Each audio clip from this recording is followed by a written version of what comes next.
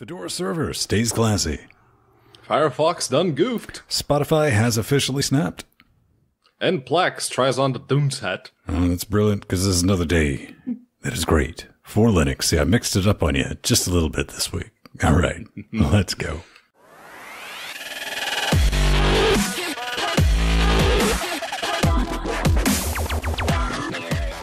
Welcome back to Linux Weekly Daily Wednesdays, where we sit back and take that midweek break to talk about some of the fun things we found going on in Penguin Land, Linux Land, Linux Years. I don't know, man. Those uh, things I saw in the Star Wars movie, Pedro, kind of look like little penguins, but slightly more delicious.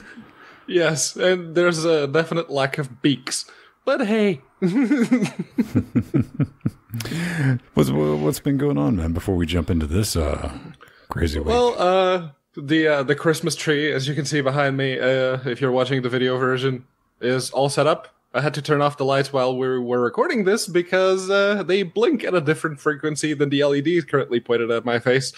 So that was causing some camera rolling shutter issues. Yeah. Yeah, I didn't. It's been a fascinating past two days because you, you have to bear with us, ladies and gentlemen. We we have all types of technical. Our technical issues have technical issues right now, and we're, we're trying to work through it because Doing it live! yeah, uh, this is how you learn. Um, no charter. Hey, PSA pro tip for everyone: if you're in the Athens area, uh, call me. Um, but outside of that, uh, they've went to 125, 124 megabits that they're not going to tell you about. Like, what are you talking about? But uh, if you hit them up It's on a Christmas surprise. hit them up on online chat, takes 20 seconds, and they're like, boop, re- they'll uh, repartition your modem, and uh, you'll be good with it. Then you'll realize that even though you have 125 down, they only give you five up. that that that sucks. Yeah. So that, that's been my day, then all the sound craziness. Let's just get right into it this week, man, because uh, Fedora has uh, done something that's not crazy, that's not insane. Uh, and I would definitely say uh, they've did, did did a solid on this by kind of backtracking Yes. a little bit. Yeah, a little bit. Uh, so, uh, if you've been paying attention to the Fedora news, you probably know that Fedora Server 27 was supposed to come with the whole modularity thing. And that was going to be the case uh, up until the last beta, which also included the modularity thing, but they got a lot of negative feedback. So they decided, you know what, with this release, we're just going to roll back to the quote unquote classic Fedora server and just push it out as usual. Nothing new there. It's basically the exact same thing as Fedora 26, only with the more up to date packages as you'd expect. So that's good.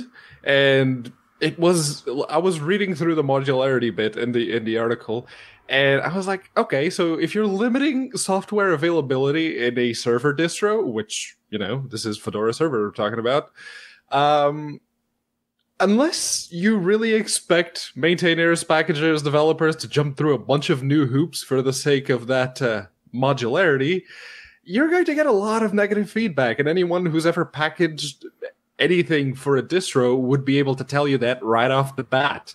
So, uh, Yeah, man, that's do you get definitely a off? thing. But what do you think with the whole module thing? It seems like something you would want to spend a lot more time testing than just oh, it's a thing now. We have new package management, and uh, Mm-hmm. it's a really good idea, but it doesn't work yet. So go deploy it. well, it is Fedora. I'm pretty sure uh, Red Hat themselves would never uh, do that, at least not without a lot of testing and making sure that all the software that people run on those server specific distros um, comes included, because that's the biggest issue here. If your software wasn't packaged for the whole modularity thing, you were boned. You could not, for the life of you, install your favorite what have you software on your server because the maintainers or the packagers or even the developers just hadn't jumped through all the hoops. And in the in the midst of the Flatpak versus Snaps war, how do you get off on pushing out another packaging method? Hey, man, every distribution needs its own package format to help simplify the Linux ecosystem and yeah, simplify. So check this business out. Putty be gone. Microsoft will ship an open SSH client, and um, this has gotten a lot of hate. A lot of hate. Everyone's like, "This is crazy. This is insane. This is wrong." And I'm just sitting back going, "We're winning, guys. I, come on." Um, it's definitely one way to look at it because Renee in the show notes. What he, Yeah. he just kind of threw it as like, yeah, I mean, if you got to use Windows 10, just install the Ubuntu, then you got your open SSH client as well.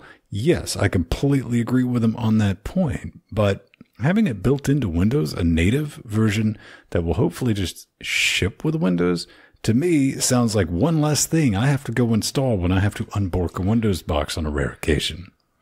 Yeah, that is true. And I am one of those people that has to use Putty at work. And Putty is perfectly serviceable. It's a teeny tiny application, and all it does is just it's an open SSH client. It, you can use to SSH into Linux boxes from Windows, and it hey, it works.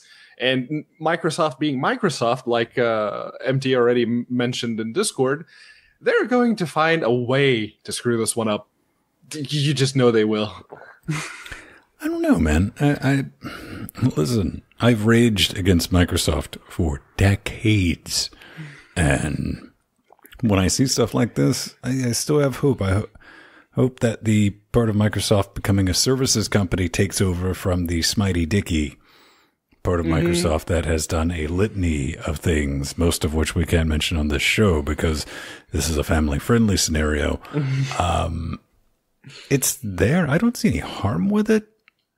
So on the rare occasion, There's no harm. yeah. Well, it's you can the knee jerk reaction is like, "Come on, Microsoft, you suck. What are you even doing that for, man? That's stupid." And eh, the problem is, I completely understand that mentality, one hundred percent. The other part of me, the uh, pretend part, that's a responsible, functioning adult. It's like it's it's a good thing they're doing stuff like this. We want more. We want to encourage this behavior. And I go, you're Yeah. a big dumb dumb Microsoft. So, um, Thunderbolt three, its thing terribly insecure. I don't think it is, but uh, somebody's trying to make it just a little bit better. Yeah. Uh, so, as you may know, there have been a bunch of articles lately saying that, oh, USB security on Linux is a joke and this and that. And, well, Christian Kellner uh, uh, is developing a teeny tiny daemon to address some of those security concerns, specifically for Thunderbolt I 3. absolutely love. He's ca- he called his you know he's called his project Bolt, not Point One, Yes. codenamed accidentally working. Admittedly, uh, yeah, he, he does have a sense of humor. Uh, and basically, he called it that because he wrote it, didn't expect it to work, but it did. And it did exactly what he wanted it to do for the first version. And you can go download it and try it out right now. Uh, it's still not ready for production. It's bound to cause issues with, say, you have one of those Thunderbolt docks that you use with your laptop to plug into external displays and to use an Ethernet cable if your laptop doesn't have it. Uh, people with Dell XPS 13s that use docks, Hmm. they know what I'm talking about. Um, but yeah, it's uh, it's good to see, uh, but I'm not entirely sure that adding one more layer on top of dbus, which is already supposed to be the layer that gives you the inputs and a bunch of other stuff, but adding another layer on top of that to filter out all the Thunderbolt ins and outs. Not entirely sure uh, it's a Well, good I idea, mean, but it is for the sake of security. It's you think is Thunderbird Thunderbird uh Thunderbird show title uh Thunderbolt Intel only or R- Uh, it is an Intel technology, yes. we, Uh, I guess anyone could license it if they wanted. Uh, but most motherboards that you see from like Ryzen uh, and the Threadripper uh, AMD motherboards, those usually have Type C connectors, but they're just regular USB 3.1 Type C. They're not Thunderbolt 3. The two have some uh, interoperability. If you plug in a Thunderbolt uh, dock to a Type C connector, you may not get some of the functionality. Some of the display ports for external monitors might not work, Mhm. but like the USB pass through, the Ethernet pass through, all of that works just fine. So there is probably going to be some of this if uh, it ends up getting the adoption that. Okay, to be fair, uh, I do hope it will get some adoption and it will be improved, and they will find a much neater way to do it than not stacking something else on top of DBus. Probably a good idea. I mean, especially if it's shipping, you know, basically, what do you have? One, two, we have four default modes, none DP only. Um, and I didn't for make display that up. ports.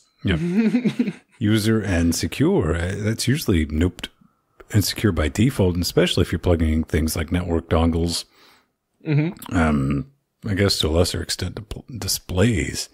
Yeah, something out of the box controlled by at the user level Yeah. set permissions on is a good idea and it's good to see something in there like that um this this next bit this next bit it's like what um and by what the latest beta chrome 64 pop-up blocker okay but it's stronger uh site-wide audio muting and something about a window i don't know about that but this is going to get rid of advertisements, advertisements that Google. Not all of them. not not all of them, but but that's kind of the thing, though, man. Is the ones that don't follow what was it? The uh, do do. Um, as I furiously look around, uh, websites that display non-compliant ads according to the Google. It's a multi-company consortium. They're like, these are bad ads. Yeah. It's So- the uh, acceptable ad policy, Mm-hmm. something like that. Yeah. and site-wide audio muting, to which I'm looking at people. This is what happens when autoplay video and junk like this becomes the norm. I'm looking right at you, CNET. You're one of the biggest offenders because that thing follows you down the page. I avoid CNET like the plague. And Well, that's just a good rule of thumb. It's full of malware, so did, did, just don't go to CNET. and it's doubly worse when you're on mobile. So Oh yeah. kind of interesting to see Google take this approach, but I, I think it's Took them long enough. Very light-handed, but I think Google has the foresight to realize that if this goes completely unchecked, it is going to get to the point where everyone will be running an ad blocker, right? Yeah. Because Yeah, absolutely. you're definitely forcing people into it. And I do want to give um to do all the evil Google overlords a little bit of credit. They got noped out of uh, the Windows Store today, or it might have been late last night. Because if you want to be in the Windows Store for the Windows S version of Windows, you they, they got just a just ton of rules that you got to follow, and apparently one of them, if they're trying to go with Apple's things, you can't duplicate functionality. If you're going to use uh, build a web browser, it has to be based on Edge internals, the rendering engine. And Google's like, yeah, yeah, yeah well, we totes did that. It was just a link that downloaded Chrome. Yep. It's like, good on you, buddy. Uh, so Microsoft stomped, and then they walked over to Edge and like, I'm going to make them love you, and uh, that'll never happen. Microsoft, quit developing that piece of note. No one wants it, not even your own customers. It's definitely a thing, but we're not done talking about browsers, Pedro. No, no, we're not. And uh, the one, the other big player uh, that we have been quiet about up until this point has also found a way to poop the bed over the past week. Uh, Mozilla's Mr. Robot promo backfires after it installs a Firefox extension without permission. Yeah, that article title says it all. So uh, you probably saw this, uh, especially if you're on Reddit. Uh, Looking Glass uh, was a it still is. It still exists. It's just not installed without your permission anymore. Uh, it's an extension that creates a sort of uh, an augmented reality ARG game um, for fans of the Mr. Robot show. And Mr. Robot, uh, it's a watchable show. I wouldn't say it's my favorite, but uh, I don't. Um, I'm not opposed to watching it. Uh, and if you were paying attention to season three, you would have noticed some things happening when they show the computer screens and some of the lines that the characters deliver. And this extension, what it does supposedly is to bring that ARG to your browser. So you could experience some of that and maybe find a mystery behind it and all that. That's uh, the base concept of that is all very well and good. And them sneaking this into the browser without telling people about it still fits with the theme but that's not something you do because what you did is you introduced adware to people's boxes. True. Whether or not it was disabled by default. regardless, that that's what it boils down to is reading their explanation. Like, hey, we didn't do this for money, and mm-hmm. this wasn't. We were trying to hurt anyone. We were acting like a much smaller company than we actually are because we are the Mozilla mm-hmm. Corporation, and with that type of footprint, you know, comes certain responsibilities. Um, great power and great responsibilities and all that. And I can understand you reading what you would call their non-apologies. You said is they, they explained it, and I get it, but this the, the reason for me it's bad not because I think it's malicious anyway. They were just having to like, oh man, these guys, um, Mr. Robot, it's a big hit. People like it, and they've been you know really on point with trying to do their best with drama mm-hmm. and technology and throw in some love Mozilla's way. But holy hell, Mozilla, you should have known better than to push anything minus security mm-hmm. updates to the end user without big red blinking tags and fire and stuff because people, the average person, does not want to know that that's even a possibility. That's a really good way to get people running over. And don't make apologies for this because I've already seen some Firefox. Um, we, we use Firefox, we use Vivaldi, we use Chromium, we use everything here because I don't like that tribal team mentality stuff. And but I'm not going to defend him on this. Uh, again, I don't think it was a malicious. Uh, learning, learning mistake. I don't think here, here's the here's the positive side, Pedro. I don't think they'll ever do anything like this again. Oh no. Right? Uh, and my biggest gripe with it wasn't actually the thing uh, itself, because yes, they done goofed, but they reverted it. And uh, Oh, I guess we should say. I think um, Trugs and a couple of people in uh, chat realm. Yeah. was like, yeah, on Linux, we didn't even experience it. So Yeah. But a lot of people did. Uh, apparently, some people even did if you were paying attention to the Reddits. But uh, on December 18th, that was this Monday, uh, they put out an update, Mozilla did, saying, um, We're sorry for letting you down, letting us down. So you're not apologizing for pushing headware or adware uh, on your users without asking for permission, not giving anyone the choice to opt in or opt out, not giving people a bit of a heads up at all. No, ladies and gentlemen, Mozilla is sorry uh, for the confusion and for letting down members of their community. Really? Really? That's the best you could come up with? listen, man, if it was me, I would have been like, my bad. Period. That that, that that's it. Yeah.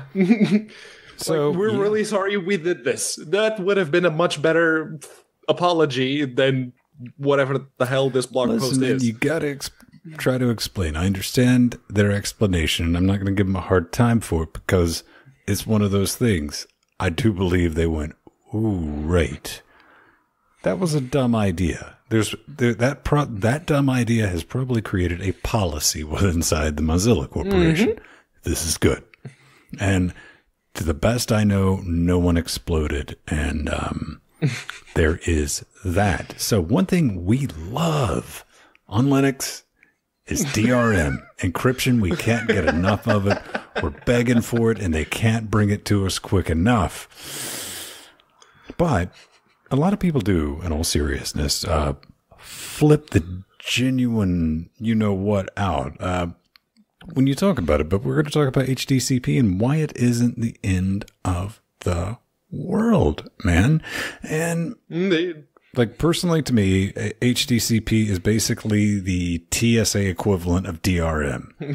It- it's security theater, if I'm being kind. Uh, and the biggest problem, the, the, the biggest crime HDCP sets up is when you try to use it and it doesn't work right on systems that are supposed to support it. But uh, it kind of brings up some points with, you know, the encryption is on the outside here. The DRM's on the, uh, it's not necessarily inside the Linux. No, it is uh, the way that this works is basically you have a DRM module in your system, and let's say you're playing some DRM content. Now, on Windows, that's always been the case. If you went to Netflix, for instance, it wouldn't actually render on the GPU. It would that picture would be created on that DRM module, and that would be pushed to the GPU and then to your display. But it would be all encrypted. So even if you tried to take a screenshot of that, if you didn't have any sort of compositing going on, you wouldn't see anything. There would just be a blank window. Uh, well, that's not really an issue on Linux because everyone is running some sort of uh, GLX compositing nowadays.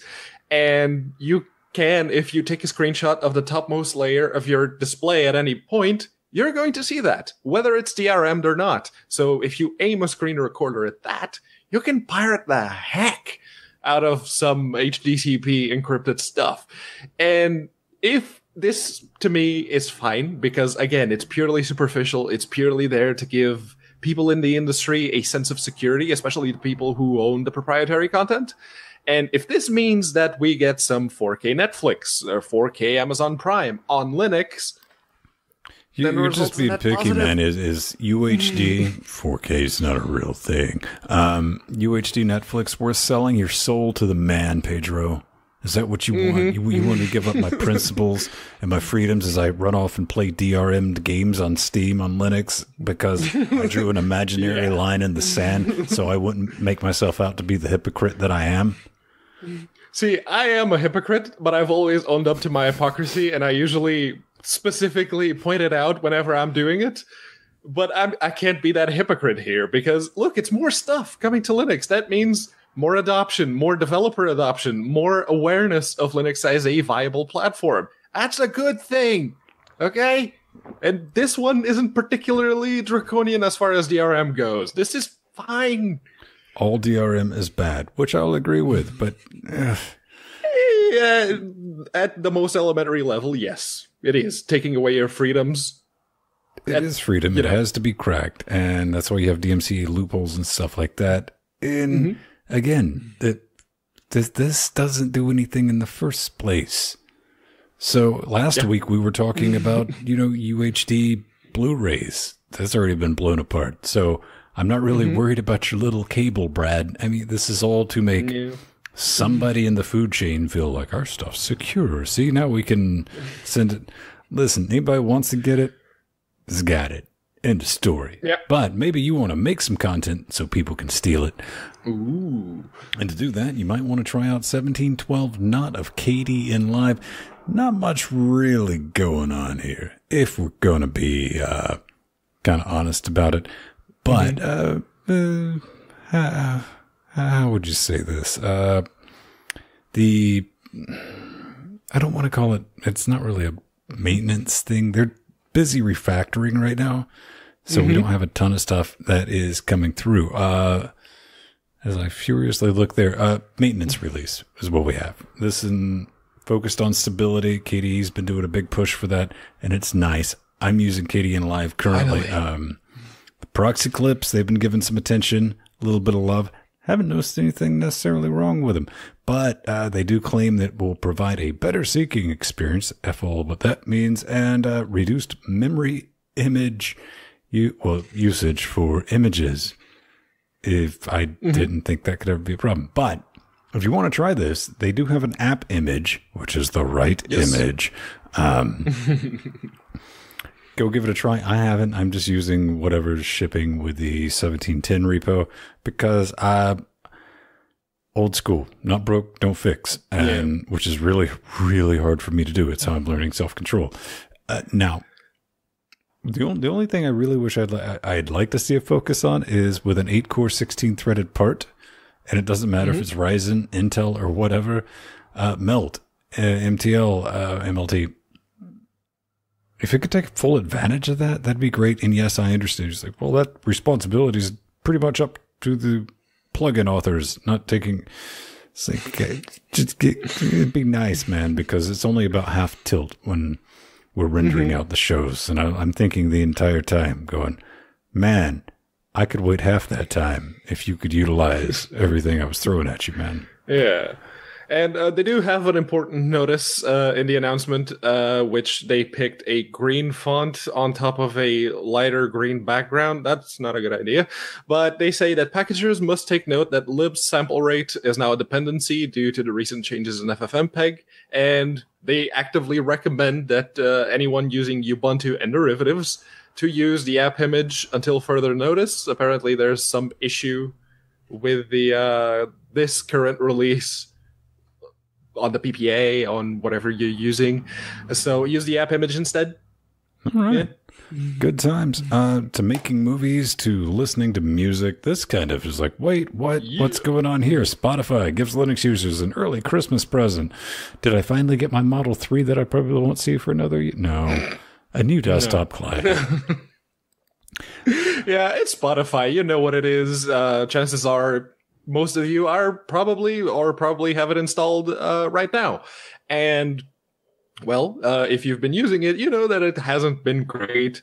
And uh, I remember the first few versions that they weren't really uh, Linux versions. But, well, if we're being honest, neither is this one. Uh, but it is a new and updated uh, client. They say, what did I say? It's launching now in their own snap. Spotify has ensured that their users in the Linux ecosystem are now able to enjoy the latest version of their leading mu- music streaming application as soon as it's released, regardless of which distribution they're, they're using. Assuming, of course, your distribution runs snaps, which it should, because it is supposed to be a universal package. Mm-hmm. So it's, yeah, it's Spotify. I don't think I need to tell you just how big that is. you, you would have to tell me. I mean, listen, technically, I know what Spotify is. No. I said, really good to see them coming back to Linux because it's been a few years and they, they had a mm-hmm. very antiquated client. And um, you said it's Snap, but Snap goes where you really want it if you're forceful with it. Yeah. And you said, uh, I, I was kind of curious because, admittedly, my first thought was like, oh, great, it's a Chromium browser that's pretending to be an app, also known as Electron. But it's not, is it? It's uh, it, it is still a Chromium window that's pretending to be an app, but it's not Electron. It's the Chromium embedded framework. Uh, if you download, uh, if you go to their repo right now and download the deb, you can just open it up and you'll see, oh look, a bunch of CEF files. Yep, there we go. Hmm. so same smell, different Chromium derivative. If I'm listening to music, uh, be it anything, I just don't do it on the desktop. I haven't listened to music on a desktop since they said, "Hey, man, we, we can make your mobile play music." That if you're working at your desktop and you have headphones and you could just put the window away somewhere, that's that's fine. Mm-hmm. See, I can't do that because if I got the headphones on, that means I can cut it up and no one can hear me. And I might be in an mm-hmm. office environment. I'd be mm-hmm. rocking that out, man, and you know, then get lighters out and all that fun stuff and it might raise questions. But on that same vein, uh, maybe Spotify is not your thing. Maybe you uh, a little more adventurous. You like going out and looking for that live, live audio mm-hmm. that never messes up on the internet. It's always 100% crystal clear, and no one has ever had the problems with it in the history of ever. And if, mm-hmm. if that's the case, Gradio 7.0 is out. It's ready for you, man. Uh, couple of new things in here. They have a new unified library. That's kind of cool. And um, new first launch experience. So it'll explain to you just what the gosh darn heck it is. Redesign mm-hmm. toolbar. I mean, just a lot of UI stuff and performance memory and a ton of translations. So internet radio, uh, that, that, that's still a thing apparently I, is what I said. Yeah. See, uh, I used to back in my Windows days, I actually created a little gadget that played all the Portuguese radios. I think the website is even still up.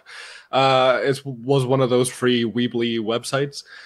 Uh, and basically, all it did was it took the MMS or the M3Us or the whatever streams mm-hmm. and would just play them. Uh, Windows comes built in with Windows Media Player, and there's a little portion of it that's always running in the background, and you could just use that to play those streams with a seamless quote unquote desktop experience. You just had to have the uh, the gadget on the on wherever you wanted it on the screen.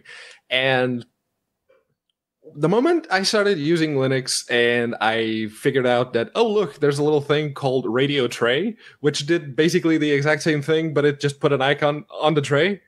It's like, oh, it's hidden right there. Oh, and it's still playing music just fine. The co- getting codecs for those uh, Microsoft specific streams was a bit of a pain, but less and less people are using those now, and most of what you have to deal with nowadays are people still using the old streaming servers that still use that Microsoft co- codec or use Silverlight or something like that. We've still got things like that. I mean, audio. I, I think a lot of the radio streaming that you're seeing right now is talk, podcast, stuff like that. Yeah. You know, you rewind five or six years ago, uh, internet radio was kind of a big thing because you could basically just stream anything you wanted. Then the tax collectors at B said, nope, we need a certain amount of cut of all that. And effectively overnight killed that industry because there were a ton of good stations. And I mean, they went to the point of having DJs and all that. And yeah, I used to listen to stuff way back when on Real Player on Linux in like 1996, 1997. You can get all up off my lawn with your Windows media streaming junk. And, uh, again, this is not something I've done for at least six years or whenever the first Android slide phone thing came. And I was like, yep, this is it. And now you have Bluetooth and I got Sonos. And Yeah. You got Google. I was like, Google, play me some Type O Negative. Google's on it. Done. And, you know, I can finally sit back and pay more attention to my knitting. But yeah, it's it's Gradio. It they, basically the gist of it is they took the radio bits, the internet radio bits from say Rhythmbox or VLC, and made it its own application. So if that's all the media consumption that you do from Rhythmbox or VLC, why using VLC to play just audio is beyond me. But hey, uh, man, uh, you now have Gradio. That's cool. And we uh, we do have an audio only stream in Discord, kind of, sort of. I mean, it works technically, where you can mm-hmm. listen to us in real time if you don't want to watch video, which is probably a good idea because we're, we're some pretty horrible looking people. Um, from audio to video, VLC three not not RC1 posted by Popey. You know, you love him. He's here in Discord with us, probably watching right now. We'll find out in about mm-hmm. 10 to 15 seconds. Why, why are we talking about this release candidate? Because, uh, check this out. It's got a little bit extra magic in it. A snap. Oh, that's right. Oh, Snap VLC. It's there for your testing. Um, they've tested the playback with GPU accelerated video, modern systems, VDPAU, and that's definitely, they're looking for the feedback. Now, installing this piece of cake, Snap install VLC candidate. I still got to learn my Snap commands, but, but I kind of want to throw out a little bit of free advice, Pedro. A little bit of marketing Okay. a little bit uh, is uh, a pro tip, if you will. He said non-ironically, uh, you might just maybe do it like on an alternate Tuesday after 4 p.m. Uh, consider letting people know what's in the new release candidate to go test. I'm just, I'm just saying. I'm with you. I'm with you on that one. Uh, I guess the only excuse I could make for Popey in this case is that um, they're not actually the ones working on VLC, so they basically just pulled the RC uh, binaries or the Oh yeah, source no, code no, no, and absolutely. put them in a snap. They're 100 percent in the right, but I, I'm just saying you got to sell it a little bit. You, got to put the hat on, dance around, be like, "Hey, come look at this stuff." And um, because here's, I, I didn't test this mainly because here's my thought process. I don't know what's new in this. It's like, wait a minute, have we installed the snap from the command line before? Yes, we have. Next, that was um, Yeah. no, it's uh, the only thing right now uh, that uh, really grinds my gears with snaps is that stupid folder it puts in your home folder, which is lowercase snaps. That's it, and it's just. I implore I like to keep my home folder whoever is in charge of keeping it that way, please do because it annoys Pedro, and that makes me happy. Yes, it does. so I, I'll usually play around with the snap for a little bit, and then I'll see, oh, that's that stupid folder again. I will nuke the snap and then nuke the folder. Just get rid of it. Okay. Snap's cool, man. I mean, it's all going to be interchangeable in five years, one way or the other. But good to see progress. Good to see something up and working, and you can take snaps to basically anywhere else you want to go. Good mm-hmm. idea. Now, the complete opposite of a good idea is. okay. All right. Uh, We're talking about Plex Amp from Plex Labs. Yes, Plex, you know, the. Uh, the media server that we all use it for that one thing that we don't talk about, uh, that thing. They got a Plex Labs. It's a place where you can, it's their skunk works, man. You know, it's their Google Axes. But they're talking about a new piece of kit that they're working on, and it is called Plex Amp. And it's available for download. It's thing that what they want to do is basically create a Winamp replacement, which initially, come on, obey me. There we go. Uh, sounds like a good idea. Sounds like a really good idea, right? Until you think that there's already a bunch of those on Linux. Well, there is, but to replace the original Winamp, something that works perfectly and might eat up half a mega RAM and mm-hmm. hasn't really been updated in two decades, but or 16 years maybe. But it still really whips the llama's ass, even today, on a modern system. And again, it mm-hmm. plays mm-hmm. MP3s. So Plex, they're rolling out their own thing. I just threw this in the notes to give them a hard time. Here's why I did it. We're, we're not really going to go into it and go over it too much. Other than that, that's the point of it. If you want it, it's going to be in the show notes like everything else. Go check it out. They are excited. They're trying to sell this. They were excited to use new technologies to bring this player, uh, new features, and all this other was. Bang. They're using Electron.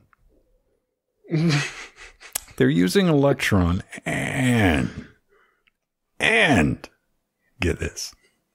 Prepare yourself. Not available for Linux. that is, Hell. that is next level. You you you're using something basically built to make things beyond easy to be cross-platform. Like yeah, not on Linux, friend. yeah. But you're gonna you made an Electron app for Windows. Do you under bad Plex? So you made an Electron uh, implementation of Winamp, and you're just going to say, "Nah, it's not on Linux because we can't be asked." Oh no, Ple- the Plex server works great on Linux. The Plex, I remember Yeah. installing that the first time. It's like, ooh, this is gonna be a weekend project. Ten minutes later, I was like watching a Linux ISO that I downloaded. Um, The the, uh, the Plex web player works great on Linux. What the hell? But hey, that does make me wonder: is XMMS still being developed? I assume it is. Is it? I don't know. It still looks the same though. Yeah, well, that's the old thing. There's a reason, man. If you look at a hammer from a millennia ago, it looks like a hammer, Pedro. And you know what? Yeah, There's some developers out there that would do good, would do good to adopt that philosophy. And Yeah. um, you would also do good to join one of the billions of people. I think there's like 100 people helping support this show, keeping us ad free because we don't do a bunch of ads. And by a bunch, I mean none. It's pretty simple. You can join us at patreon.com forward slash Linux Gamecast. We have a gang of Amazon affiliate links from Britannia, um, North America, Canada, Canada's hat, or Hats Canada or something, Space France, and Deutschland, Amazon, wish list. We got a couple of things on there, but there's some big ticket mm-hmm. items, man. You would have to have something wrong with you. Like Maddie. Thank you, Maddie. Maddie picked us up at Euphoria last night because I messed up. And apparently, if I. This is, was after the stream. There was no shilling going on here. This was mm. like, yeah, that Euphoria is next on the list because that's really going to jack me up for like a week trying to figure out how to get all that sorted. And it's an IRC Maddie's like, yeah, I wasn't even really drunk this time when I, because Matt Maddie hooked us up Mad High 19, uh, the Mad High power supply that's currently powering our box of business, bringing you this nonsense. Um, Newegg affiliate links. We got some one-time PayPal donate o buttons. They are there. Um, oh, I did add something. I added.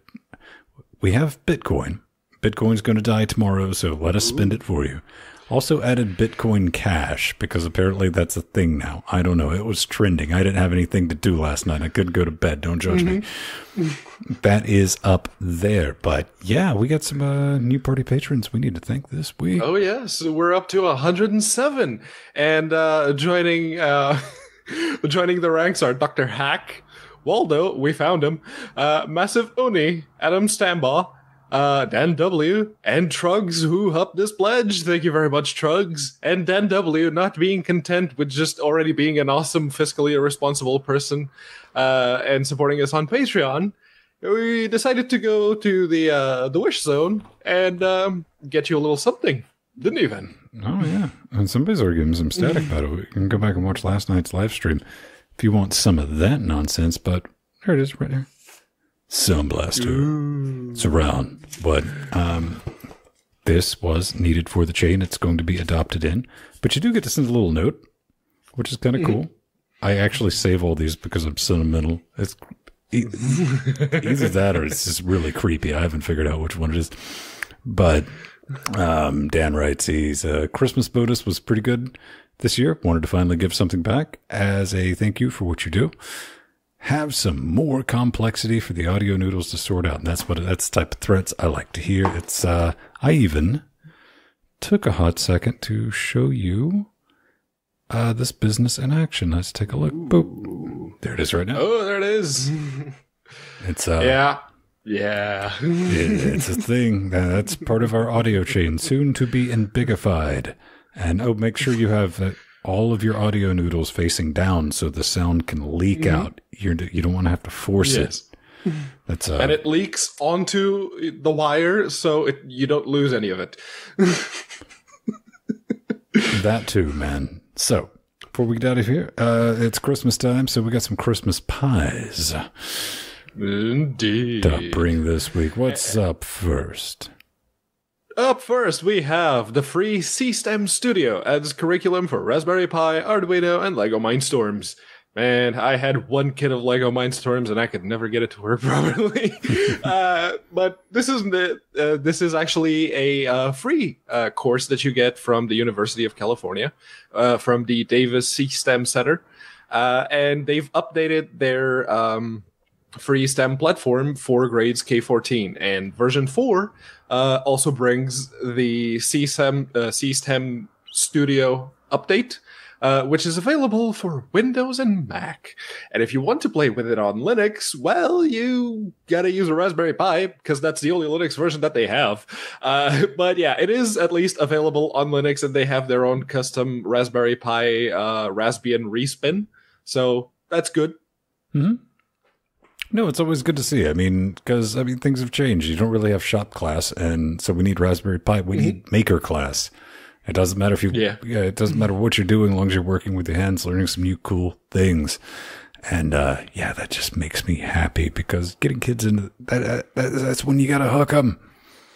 And uh, you had connects. Get the get that young mind firing at all the synapses and put a Raspberry Pi in front of him. Say you can do whatever you want with this. I- Just don't put it in your mouth. I can't think That's about that to too much because then I instantly, instantly go to like being wicked jelly. It's like, where was that Where was a kid? Yeah. I, I would be incredibly rich or famous or like in a supermax prison if I'd had access to stuff like that. One or the other. There wouldn't be any middle ground in there. Um, so teach an old Indeed. pie new tricks, deep learning, Santa, not Santa detector. That's what we got, man. I mean, th- this is taking a pie, setting it up, and uh, teaching it what is Santa and what is not. There's a full part list kit. Something fun for the project. I don't know if you got enough days left to go here. Let me full screen that so everybody can see what's going on. and uh, it's all under the guise of uh, oh, they even have a nice little tree there, there um, show you that it's doing things. But you're teaching it, and it's a small project, a fun little project, uh, not terribly useful, you know, because I personally believe this is all well and good, but part two didn't include motion tracking guns. So or uh, the guns. Let's, for the sake of family friendliness, that gun shoots uh, milk and cookies directly at Santa's mouth. made out of bullets, yes. Um,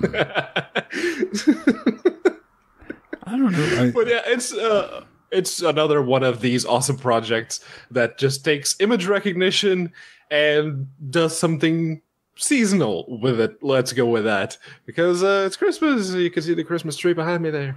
So yeah, let's uh, find or create a camera. Uh, from your Raspberry Pi that can detect whether or not what you're looking at is Santa, because you have that. Um, it's like that thing that your brain isn't wired correctly and you can't recognize like whatever there's a, a condition it has a name and uh, you can't really recognize patterns in the same way that most people do it's called And I alcohol. knew the name it's of called that. alcohol, Pedro. i actually knew the name of that because uh, one of my coworkers uh, has it so like, ah, i can't i can't remember Hairspray. no couldn't remember that either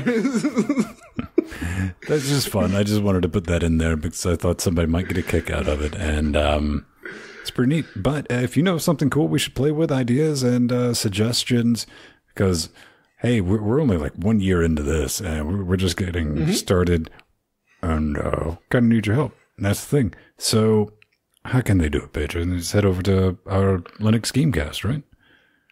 Indeed, linuxgamecast.com will give you all the necessary bits that you need to find where we are, including the contact form, which if you pick LWDW from the little drop-down menu, just fill in the form and it'll be sent directly to this show's feedback section.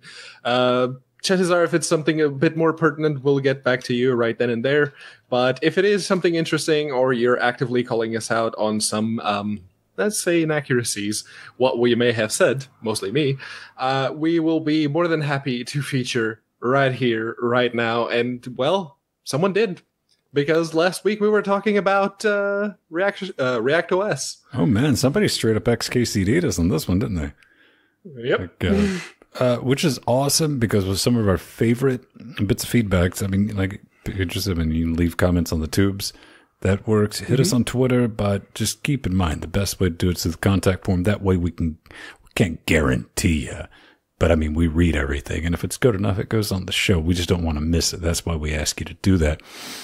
But, um, yeah, th- this one, um, being nice. I, I'm not taking any offense to whatever. I don't. So I don't want you know. Jesus, all right. I'm starting something out with an apology, Pedro. Probably, but not to be really nice. Um, what are you about to do? no, I'm just saying this is one of those bits of feedback that starts out with an IRL. Well, actually, Mm-hmm. and uh, Das Gaga tier. I, I don't know if that's how you say it, but uh, he says, uh, or she says, or whatever. Uh, ReactOS started uh, not in the Vista days, like I said, but much earlier. Its earliest iteration was called FreeWin95. I do remember that name, and started in 1996. Version 0.0.11 came out in 1998 and version 0.1.0 in 2003. So it did not start out as a retro project, which willy nilly it has become over time, but as an effort to replicate a current production OS, just as GNU and Linux did with Unix. Minixed. But yeah. oh, oh, oh, hang on. Don't you mean? Well, actually, I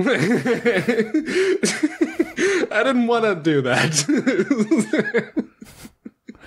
I, mean, I'm just saying. Listen, man, 100% I agree with you. I didn't know the history behind. I always like learning new stuff. I love being proved mm-hmm. wrong. But son, you did not stick that landing. I hate to break that. nope, no, you didn't. Minix. Just saying. It's Minix, then I get in arguments with Jordan. He's like, but Minix was based on BSD. And I was like, well, BSD was based on Bell Labs Unix. It's still a derivative. And, Derivative of a derivative of yeah, a right. derivative. It's, that's, why, that's why we use the apostrophe X, right? So Yes. that's definitely a thing. But hey, man, thanks for the feedback with that. I mean, that's interesting to know. I've never had any experience with CentOS. Not CentOS. What am I thinking? React OS. What am I thinking? CentOS. BIOS or uh, React OS. Okay. I- My brain went everywhere with that one. I'm sure somebody could turn that into a haiku. What I did there. Um, hey everyone, it's been fun. It's been real. Sorry for the technical troubles for our live audience. We will dig into that, but not severely because it really does sound like YouTube's being derpy. Then again, we are doing all this on Linux, and uh, sometimes things go weird. This could be one of those uh, reboard situations where it's like, okay, that yeah. that was the thing that happened. Plus, our audio system is going to get really complex because we got some big plans. And uh, thanks again for everyone for backing this because it's time for the credits. Maybe. Ooh, yes.